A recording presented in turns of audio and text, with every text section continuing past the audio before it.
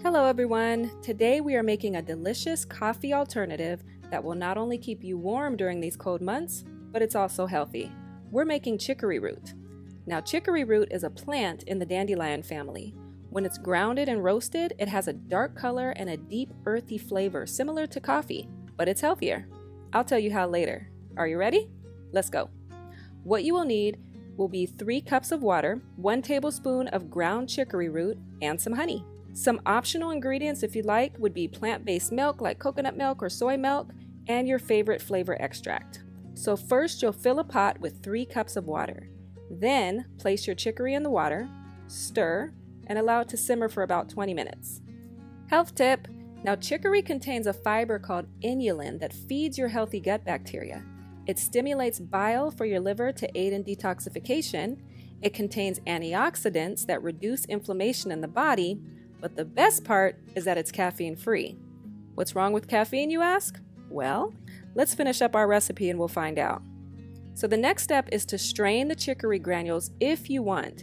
If you leave it to simmer longer for about 30 to 40 minutes, the granules will actually soften and almost dissolve for you to drink it as is and get that extra fiber benefit.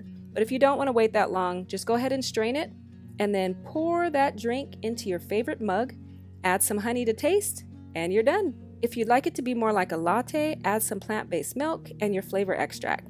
Doesn't that look good? Now, personally, I've never been a coffee drinker, but I give this to a client of mine who had to stop drinking coffee due to seizures.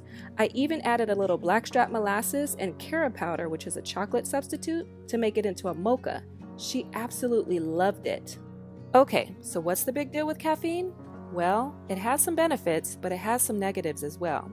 We have a chemical called adenosine that's responsible for regulating the amounts of neurotransmitters that's released in the brain. Neurotransmitters such as serotonin and dopamine, they control things like our mood, attention, heart rate, sleep, and other functions. Caffeine blocks adenosine's ability to slow the uptake of them and stimulates them to release more. This is why people feel more awake, focused, and euphoric when they use it. The downside is this forced stimulation on the nerves taxes the body, resulting in headaches, mood disorders, chemical imbalances, dehydration, insomnia, heart issues, nerve damage, and countless other issues.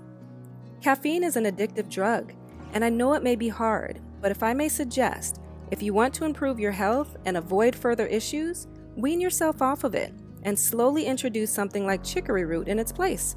Your body will thank you for it. Well, I hope you've enjoyed this tutorial and I've inspired you on your whole food plant based journey. Learn more ways that are guaranteed to keep you healthy through God's eight laws of health by clicking on the links in the description bar. And until next time, God bless.